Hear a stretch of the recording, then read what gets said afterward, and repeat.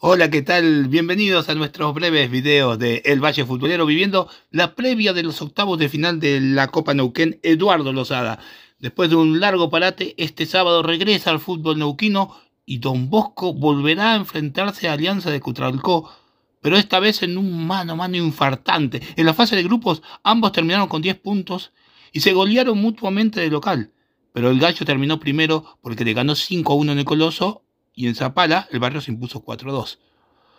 Por lo visto en la fase de grupo todo puede pasar. Son dos equipos que se conocen mucho y no hay grandes diferencias. Dejando tu comentario con tu pronóstico, por favor suscríbete al canal y dale me gusta a la publicación, así continuamos creciendo en la difusión de nuestro fútbol. Muchas gracias.